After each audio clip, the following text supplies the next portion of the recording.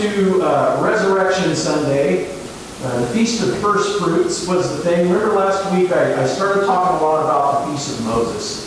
The seventh Feast of Moses that we have in, in uh, the Old Testament and the Law. And um, we know that Jesus fulfilled the first three during his Passion Week while he was there. Three of those feasts, the meaning behind them, what they were looking forward to, were fulfilled while he was there through him. And uh, he was the Passover lamb. Uh, many people a couple of days ago had these uh, uh, Good Friday services, and I can remember being a kid, I don't know about you, but I can remember thinking, why in the world would you call that good? Because I had, you know, we didn't have crucifixes like Catholic kids had crucifixes. We just had a, a cross. But uh, I always thought, well, that's pretty gruesome. But then I can remember a time in my life thinking that, but they get to remember all the time. They get to see exactly what he did in their little symbol that they had, you know. But but they would have a Good Friday service and all that, and I'd be saying, what's so good about it? That's when he died. You know, I, I didn't want him to have to die, but the fact he did, it did happen. He came to die. That was his mission. It was forecast many, many, many hundreds of years before that that's what he was going to do. In fact, as we went over last week, Genesis chapter 5, um, in the names of the first 10 generations, we have the gospel being told. From Adam to Noah, their names translated mean man was appointed mortal sorrow, but the blessed God shall come down teaching that his death shall bring the despairing comfort or rest or hope. Noah's name had like three meanings there. But that's really what those meanings, and put them in a sentence and look, the gospel was told in Genesis chapter 5. And what I grew up thinking was a very boring chapter of the Bible. You know, so anyway, we learn these things as we go through. Today, um, we were still kind of, we're going to take up from the Passover Seder, uh, and the Passover feast that was going on of those first three. Um, we know the first four have been fulfilled by now, and the last three are yet to come. They have not been fulfilled as of yet. Uh, we're, we're, still waiting for that to happen. So uh, uh, that will happen, and it's kind of funny that the first three, first four, because Pentecost was the fourth one that was fulfilled that same year.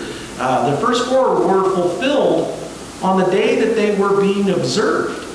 Very interesting, right? So that kind of makes us think that the that all the, the meanings of the others and what they symbolize in the last three that are later in the year, they're what make, why, don't you think that they might just be fulfilled on the dates that are the, dot, the days that they're being observed as well? Yeah, I think it probably will. We'll see. Don't know what year that'll be, but it's just very likely if we're paying attention and we're uh, using a discerning eye when we look at Scripture that that just might be when those events will be fulfilled. So, anyway, back to the Passover Seder today. In the modern Passover Seder, and we don't have it set up here for you, and I thought about having some visual aids and having the four cups set before us here, and uh, talking about the afikomen, that, uh, that when you when he broke the bread in the Seder, they'll have one of the kids, they'll wrap it up in a cloth and hand it to him and have him go hide it somewhere in the house. And that's called the afikomen. And what that means is that which will return. Interesting, huh? Very interesting that, that Christ is in all the symbolisms of the Seder. And the Jews don't even get that for the most part, except those completed Jews that have figured it out and they, and they see that how much he fulfilled. But the four cups of wine are very interesting too. There's four cups of wine out there.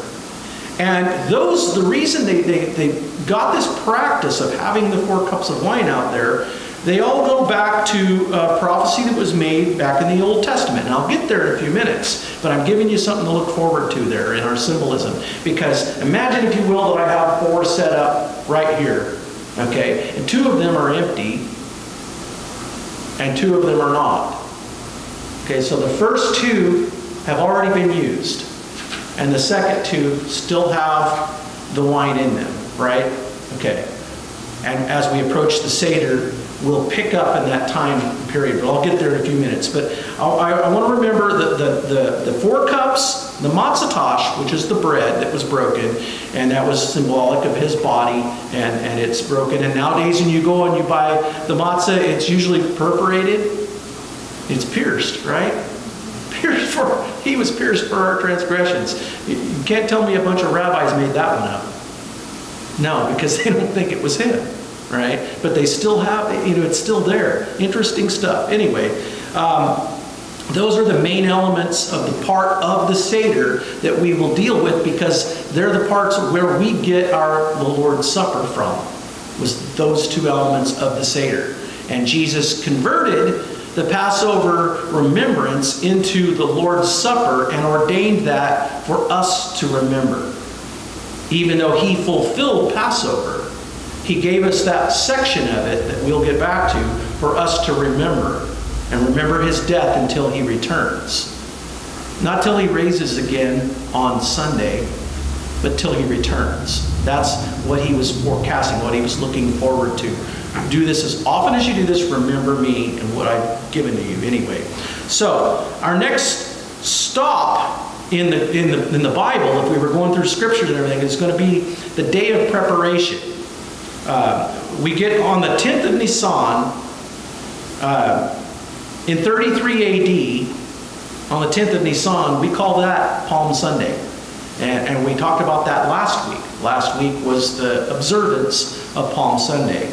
Uh, Jesus chose to ride in on the donkey that day into Jerusalem, and the crowds were singing praises, waving palm branches, and shouting, Hosanna. Right? We sang about that a minute ago. He comes as the selected one.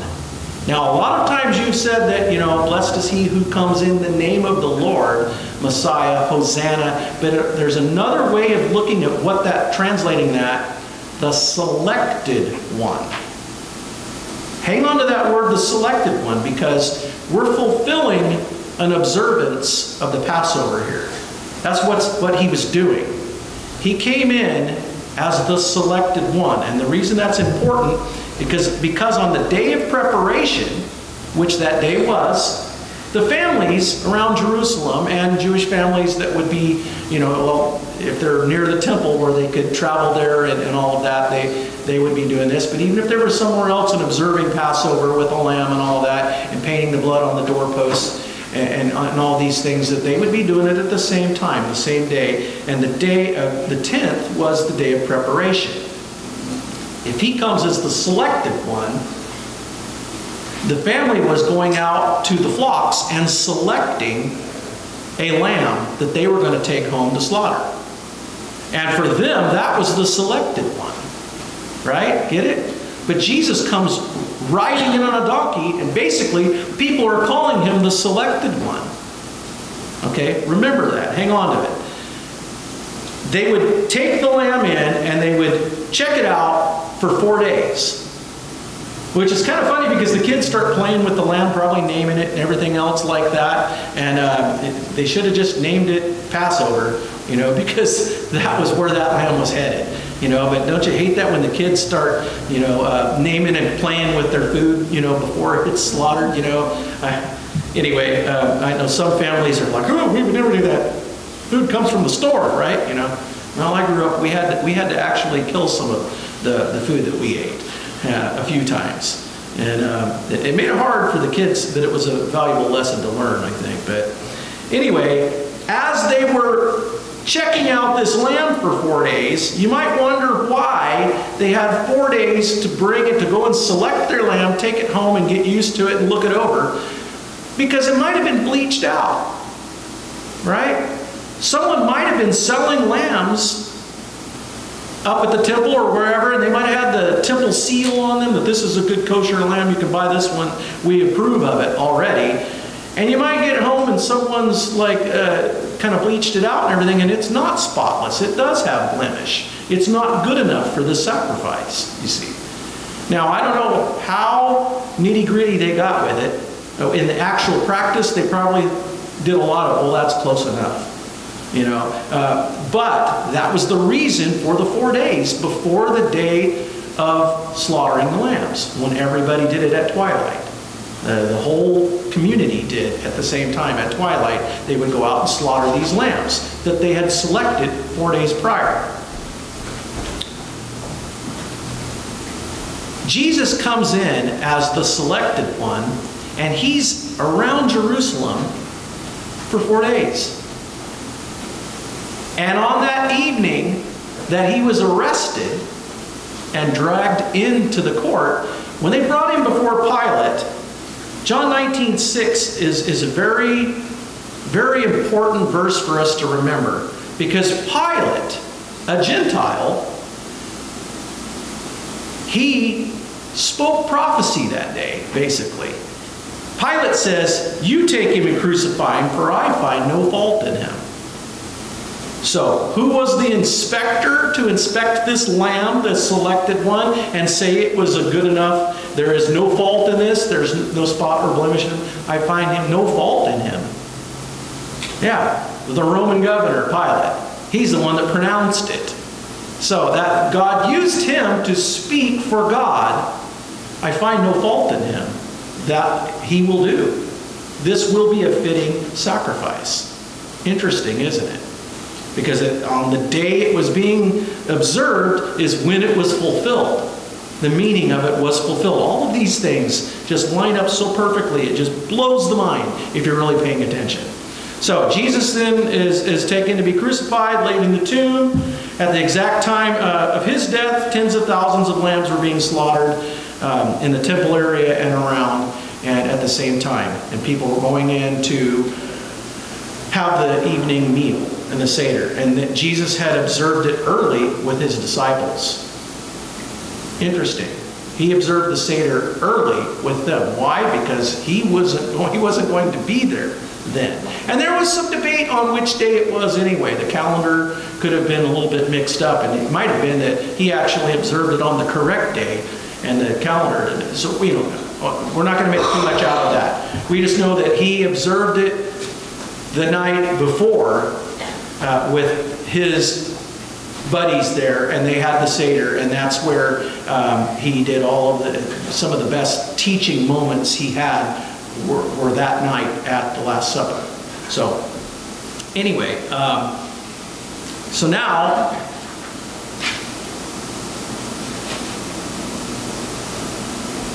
I've already, okay, I covered Isaiah 53, 5 through 7. It says, He was pierced for our transgression, He was crushed for our iniquities. The punishment that brought us peace was upon Him, and by His wounds we are healed. And um, so we need to understand that. Um, that Jesus was that sacrifice for us. And it's interesting that Isaiah, way back, had prophesied how it would be. Talk about the piercing, you know, and crushed. He was beaten, right?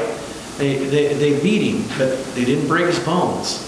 There's another verse that says his bones wouldn't be broken. But anyway, uh, Luke 22, 15 through 16 takes us back to the Seder well, the Last Supper, we'll call it here, when Jesus was eating with his disciples.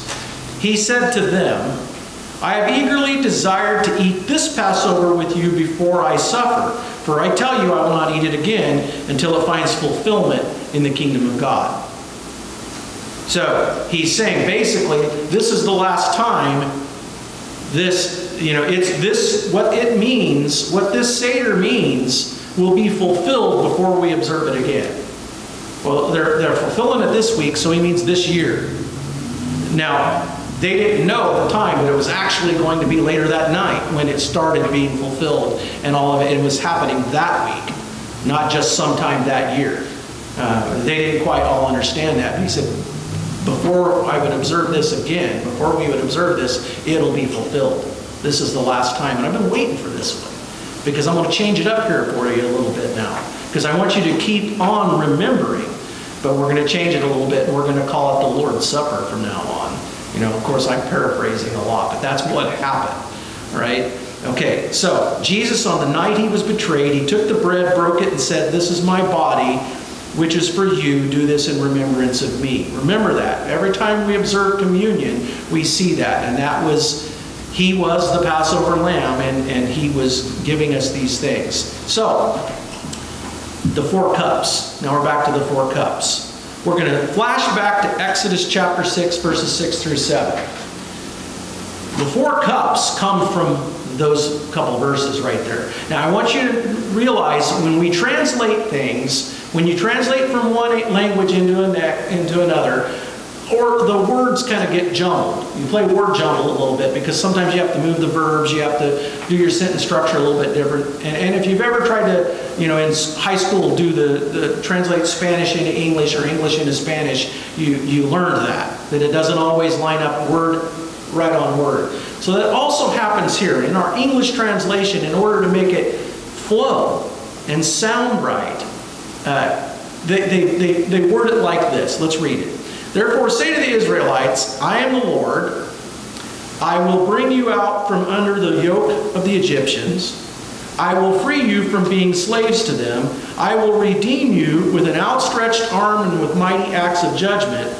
I will take you as my own people, and I will be your God. Now, these things, they, in, in the old language, the rabbis get four I wills from God out of this. And I know when we read them, we hear we read it more often than that because our sentence is saying like the same thing twice in a couple of these sentences, but they get four points out of it. So they put the four points into cups in the Seder. Each of the cups during the Seder was symbolic of one of these I will statements.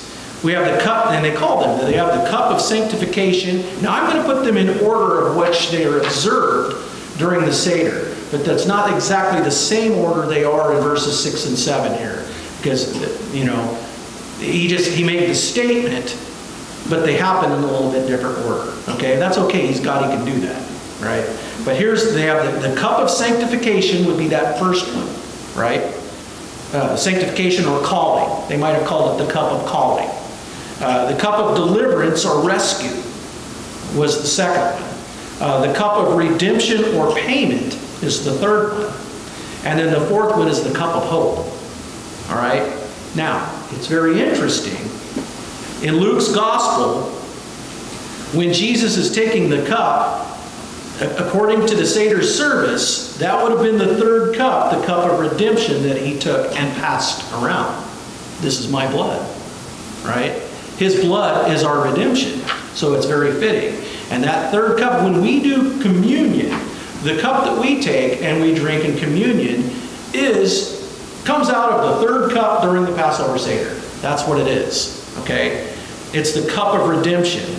Because uh, the, uh, the, the cup of, of sanctification or calling, you know, I, I will take you to be my own people. That's verse 7. Uh, the cup of deliverance, though, is, is I will redeem you with an outstretched arm and mighty acts of judgment. Uh, free you from being slaves and redeem you. That's, that's one thing. That's the cup of, uh, of deliverance or rescue. So he did that. Okay, he did the deliverance or the rescue and, and the calling of Israel. He called them out to be his own people. And he delivered and rescued them from the yoke of slavery to the Egyptians. That's why those two cups are empty in, in my symbolic uh, gesture here today. The ones that I set before you imaginary. They're not really here, but those two are empty. They've been done already. Those had to do with Israel, and they were done. This third one also has, it all has to do with Israel, by the way. But this third one is the cup of, of the uh, redemption, the, the payment that was made. And that's the one he's telling them is his blood poured out for them. He's telling these guys that night before that he's going to die and that, that he is going to fulfill this. Remember, we, we read already that uh, John the Baptist, when Jesus was walking around through there, uh, coming along the trail, and John's out in the river and he's baptizing people and everything. He spotted Jesus up and he, he points at him and tells the whole crowd, Hey, look, the Lamb of God that takes away the sins of the world. He already he called it. He called Jesus that. The people that are saying Hosanna, Hosanna, and all that, they're calling him the selected one, the, the Lamb. He's there on the day of preparation. And then when they were slaughtered, he's crucified. It all is being fulfilled as it's being observed that year. Very important year in history, right? 33 AD, as we see it in our calendar, Um, and that's why we remember this time and the passion of God during this time. But we know that his death on the cross wasn't the end of things. That wasn't the whole thing. But remember, every time we do that, this cup is the new covenant in my blood. Do this whenever you drink it in remembrance of me. And if we were taking communion right now, and I was giving this lesson in the communion, then we would we would partake of the of the wine now because we would have already done the thing with the bread and have somebody carve off part of it and all of that. You know, call it the afikomen, that which will return, because he will return. He will come back, right? All right. So that brings us to today, and you're like, wow, finally, we're, we're up to date? Yeah. Well, that brings us to today, because I want to go now into the Feast of First Fruits. It's interesting that that was also the same week. Now, it wouldn't always turn out exactly the same, but it would have been on the first day because they were told to do it on the first day. Uh, and, and it would have been after the Passover. So, anyway, we'll get to that in a, in a few minutes. But, but um, the seven feasts of Moses, there were three compulsory, compulsory feasts that all able bodied Jews were expected to travel to Jerusalem for back in those days um, the Feast of Passover, the Feast of Pentecost, and the Feast of Tabernacles. And if you're there for those three, then you're going to end up observing all seven, most likely, because they're observed in, in close in time. Uh, the first three, then you've got 50 days till the fourth one, and then later in the fall, you have the last three that are all right close to each other observed. But you've got um, the, the, the, first month of the Jewish ceremonial calendar was Aviv, which uh, contains, or Nisan, later they called it Nisan, but in, um, uh, ceremonially they call it Aviv, was the original Hebrew name for that month, Aviv. And they probably, a lot of times, will pronounce the V with a B, so you don't know, Abib, you know? Anyway, that's, that's where that comes from. That contains Passover, which is on the 14th, uh, the Feast of Unleavened Bread, which is a seven day period from the 15th to the 22nd, usually, and the Feast of First Fruits, which is the first day after the Sabbath after Passover. When you read back to when they were supposed to do it, it's the first day, which means Sunday to us, right? It's the first day after the Sabbath after Passover. Now you got to remember, there are more Sabbaths to the Hebrew calendar than the 52 weeks, or well, to them, you know, however many weeks they had, but um, 360 day years, every month was a 30 day month, you know, and all of that. But they had um, every seventh day, which is Saturday now to us, was Sabbath. But there are more Sabbaths because there are other days that were they were told to do this on this certain day, and that will be a Sabbath to you. So it's an additional. So you have to remember that when you're reading the scripture, there are more Sabbaths than just every Saturday. There are a few more. Not a ton more, but a few more. And they all have to do with the feasts and around the, the, the festivals and feasts of Moses. So, um, because this the day of Passover is a Sabbath day, whether it came on Saturday or not. You see, it was a Sabbath. That day was. So, um, the second compulsory pilgrimage feast is that of Pentecost, which means 50. The word just means 50. I know you see it out there meaning a lot of things on a lot of buildings and, and churches, but the word means 50th. That's where we get that. And it's this, this 50th day after the Feast of First Fruits. So you have a week of weeks, right? A week is seven, a grouping of seven weeks of seven days, so that's 49 days after the Feast of First Fruits is that 50th day. That's the day they were to observe the uh, Pentecost. And the really weird thing about Pentecost, Pentecost was a really weird, it didn't match any of the other seven. It's the one oddball. The other six are very Jewish, right? Unleavened bread and things like that. This one you let the dough rise. Yeast is in it, and you bake a puffed up bread, loaves of bread, and bring them and wave them before the Lord. On the, that's the Feast of Pentecost. The symbolism there We know, because we know now what happened in hindsight, the symbolism of the yeast in the dough and that which uh, inflated it and everything was non Israel people, Gentiles. There would be a mix of Jews and Gentiles together in this new loaf offered to God. So, this new thing offered to God wasn't just Jewish people, it was Gentiles as well. And we know that was the beginning of the church. And it was marked by signs and wonders. And people were praising God in languages that they didn't know. They hadn't learned, but people outside that had pilgrimaged to Jerusalem there recognized those as being languages from the lands they came from. And they came out and they interpreted and they said, Look, you know what these guys are saying? They're praising God in a language from that we're, that we're used to hearing back home. I recognize what they're saying, right? And then other people, oh, they've had too much to drink. They're drunk, you know, and they try to explain it that way. But we know that was a great thing. That was the Feast of Pentecost that came in 50 days from now.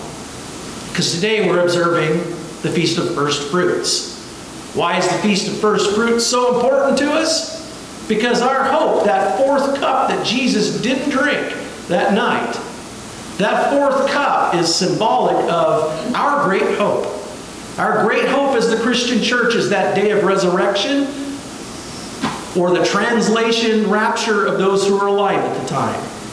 The day of the rapture, translation of the people, or resurrection of those that are dead in Christ. That day is our great hope.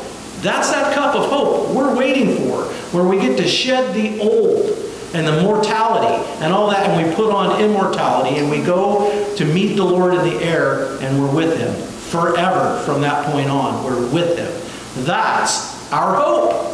And that's why Jesus didn't drink that fourth cup that night because he was giving us symbolism.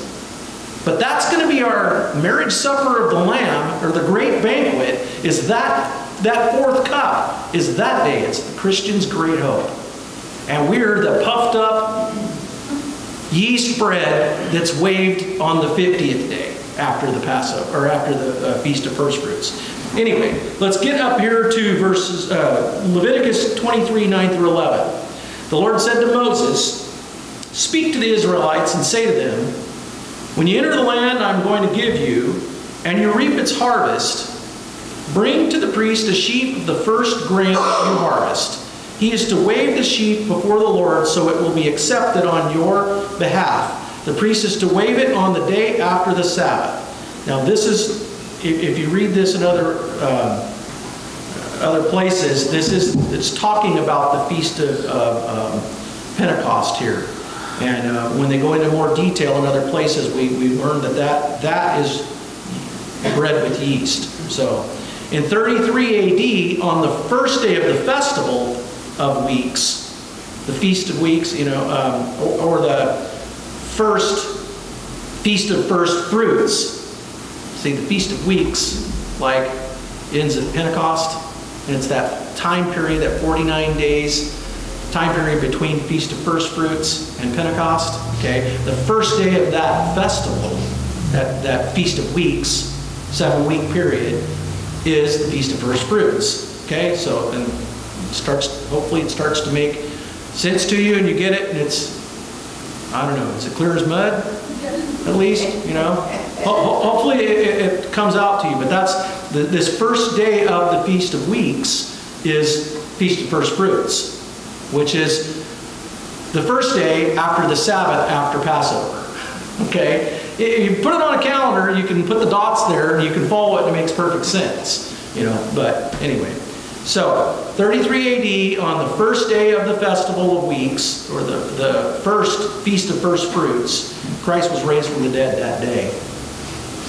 So, what does the Feast of First Fruits symbolize? First fruits of what? The resurrection. He is our first fruits of the resurrection that we hope for, that we're, we're waiting for. We're waiting for the, our great hope, but He was the first fruits of that. If the first fruits happens, you're guaranteed a harvest later, right? Guaranteed a harvest later. So, the fact that, Jesus, that God raised him from the dead was like our guarantee that it worked. That God accepted this sacrifice that Jesus came to do so because we couldn't do it ourselves. We, our righteousness is never going to be enough. No matter how hard we try, you'd never be good enough to stand before the all perfect God.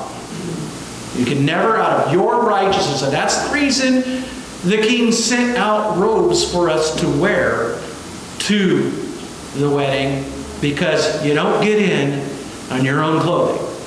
Right? We, we come to that, that wedding banquet that we've been invited to wearing the righteousness of Christ, not our own.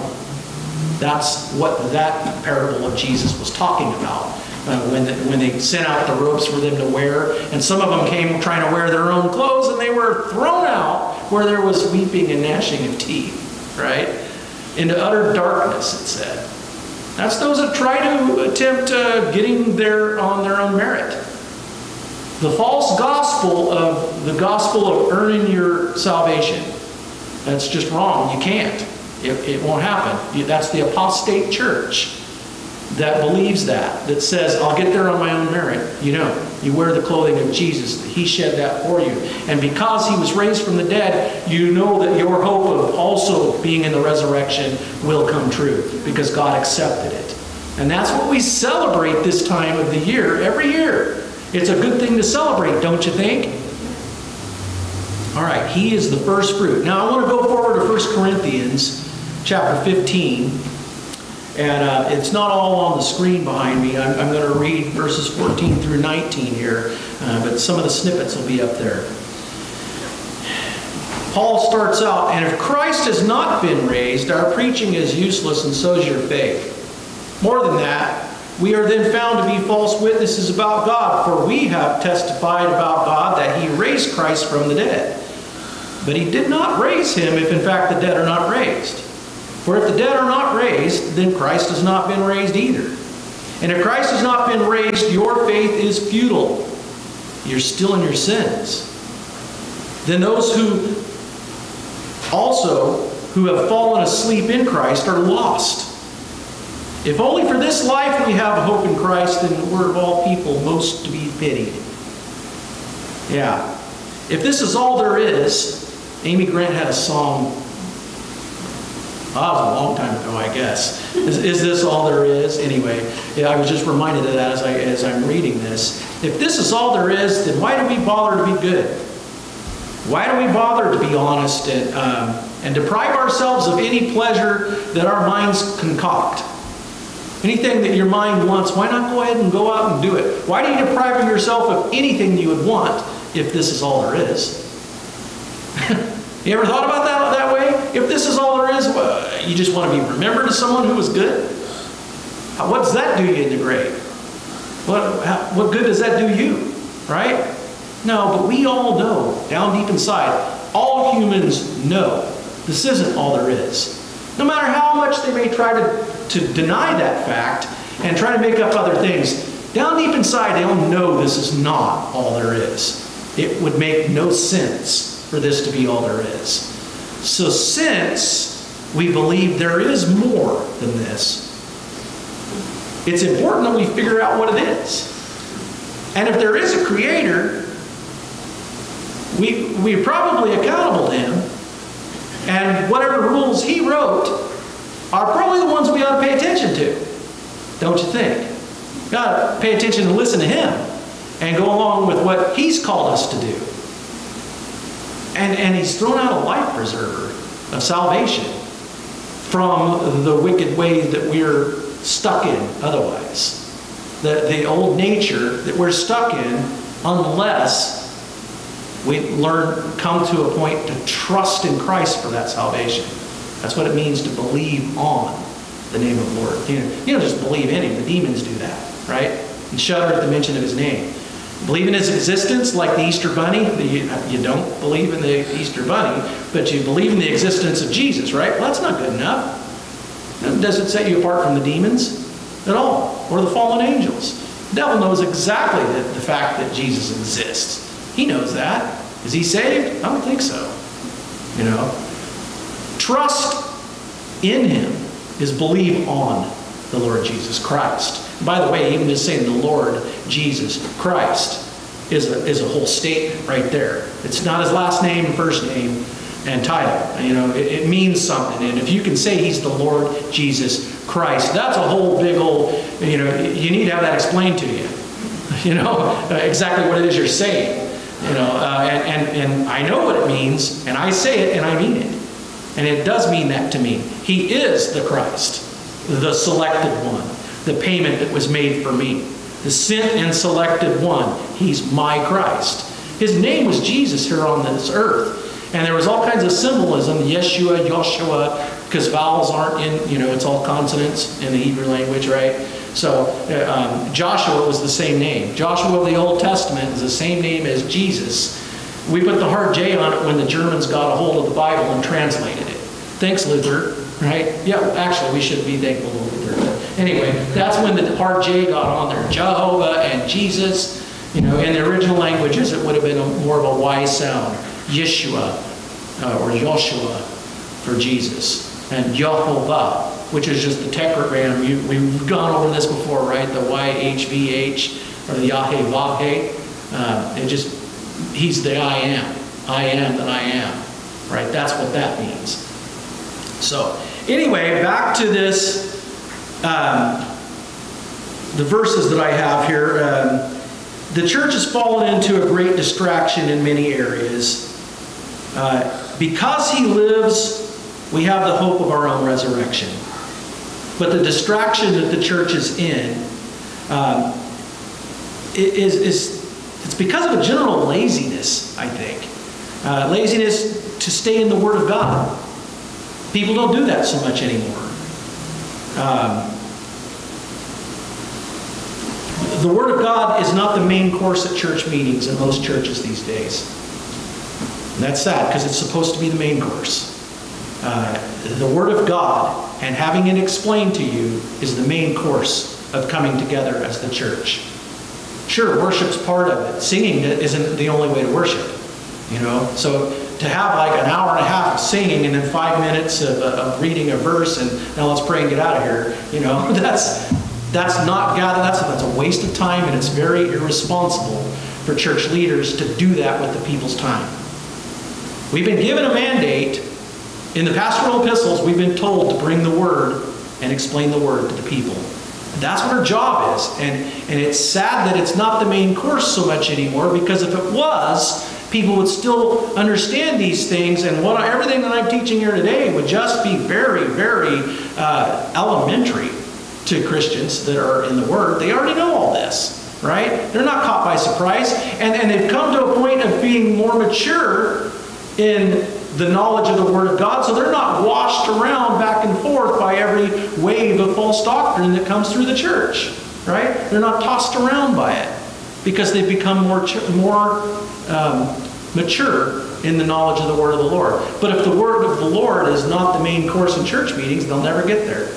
Keep them dumb and keep them coming and paying their tithe, right? This, then, then this business will keep rolling. We'll keep having lots of business. But the church is becoming illiterate, basically. Anyway, that, that was a soapbox that I got on there for a minute, and I want to get back into the word here. So, we gather to celebrate the resurrection of Christ our Lord because of the great hope that it brings to us. That's why. But to many of us, this day is called by that E word. And I have not used it yet today. You'll probably notice. Why hasn't he said, you know, what everybody else in the world is calling today? I don't like the word. The reason I don't like it now, I, I should get off my uh, my nit, nitpicking here and just go along with everybody else, right?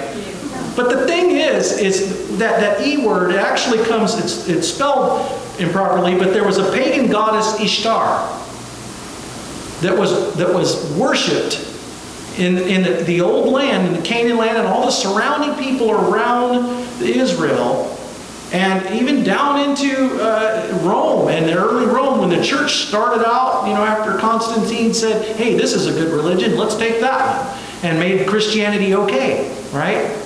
Ishtar was being worshipped, this fertility goddess, all over that part of the world in those days.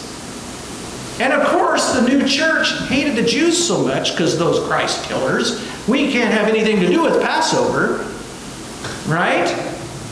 So let's not observe it on the same day, and let's not call it Passover and first feast of first fruits because feast of this, feast of that, that's Jewish stuff, right? We're, we're the church now. We don't observe the Jewish things. And they wanted such a distancing from the Jews that they just said, but, but we need to have a, celebrate his resurrection. Well, let's do it on the festival to Ishtar. It's, it's first fruits, right? It's new beginnings and everything, and they, they celebrate growth, and, and the, you know, the eggs are part of the symbolism. Uh, rabbits are part of it because they reproduce so much, so quickly. That's why, you know, rabbits don't lay eggs, but the egg is also a symbol of fertility and new growth and new beginnings. And so, so it's in the springtime, it's, you know, time to, to celebrate stuff like that, and we'll just celebrate the resurrection of him on that day. Let's just call it Easter. That's why the word got out. And that's what the church embraced, because nobody knows what we're supposed to know. Sure, we're a New Testament church, absolutely. But our apostles that gave us the New Testament taught from the Old Testament because they understood it and it had been fulfilled and they knew what it meant. We're not under the law, and we can't take everything that's written in there to mean it's written as a command to us because we are the church. It's different. But we learn from it. We get to know God a whole lot better by getting to know how He dealt with different people over different time periods. Yeah, they get to call those dispensations of God's grace. Well, they are, you know, but eh, it's kind of like that. But the thing is, God's grace has been dispensed from the beginning. It's always been the way. You know, uh, even though we, they like to call this the dispensation of grace now, and before that was the dispensation of law, but salvation still only came by grace, even during the time period of the law. The law just served to show you you needed to be saved. You still had to put your faith in God's provision to actually be saved. Right? And you observe the law if you're a Jewish person to show that you trust in Him. And even though you don't understand how this is going to work and what these things do for me, I trust in Him, so I'm going to do what He told me to do. Right? Another soapbox. Anyway, we gather for this, and, and, and, and I don't like those things, but I do like that everybody gets a chance to remember the resurrection of Jesus on this time. And so that we should, as the church, we should magnify that and minimize the other stuff. Egg hunts and things like that, okay, fine, whatever. I'm not anti egg hunt, all right? I'm anti telling kids that rabbits lay eggs. you know, I, why would you tell them that? That's ridiculous. You know, I, I'm anti that. I'm not anti hide and seek things and treasure hunts and things like that. I'm all for that kind of thing. It's fun. And for a great picnic and, and, a, and food, yeah, bring it on. Uh, having our uh, Resurrection Day uh, brunch that we normally do if we weren't all batting down the hatches and staying away from everybody right now, we would normally have that brunch this morning. And hey, food, bring it, bring it on. I love that kind of thing. And celebrate. But let's celebrate what we're supposed to be celebrating. Jesus died for us, but he resurrected. He's the first fruit of the resurrection that we hope to be a part of. He's the guarantee of it. And isn't that the thing that makes you feel good? 1 Corinthians still, chapter 15 still, a little further down in the chapter, towards the end. Uh, verses 52 and 53, Paul said, Listen, I tell you a mystery. We will not all sleep, but we will all be changed in a flash, in the twinkling of an eye, at the last trumpet. For the trumpet will sound, the dead will be raised imperishable, and will be changed. That's the resurrection we're hoping for, right? Now, if you read all the rest of that, you know that the rapture is a part of that too. It's the same event. The rapture of the church and the resurrection of the dead in Christ is the same event. It's the day when he we go up and meet him in the air. He didn't step foot back on the earth yet. There's going to be a time period, an interval of time before he does that. I happen to believe it's at least seven years, but it doesn't have to only be seven. It could be a little longer than that. Because the rapture of the church does not have to be the date that ushers in the seven-year period. There could be a time, there, in fact, I'm sure there will be a time period between that day and the whole world going over to agreeing to a, a, a peace treaty with this world leader. It's going to take some time to set it up. How much time? I don't know. Could be a week, month, year, couple years. I don't know. Doesn't matter to me because I'm not going to be here, right? So that's not something I really concern myself with that much. I have come to the conclusion that I will not be here, and so, okay, that's what I want to know about then. Uh, and I, what does the Christian need to know about? That's what I want to put all my full attention into teaching.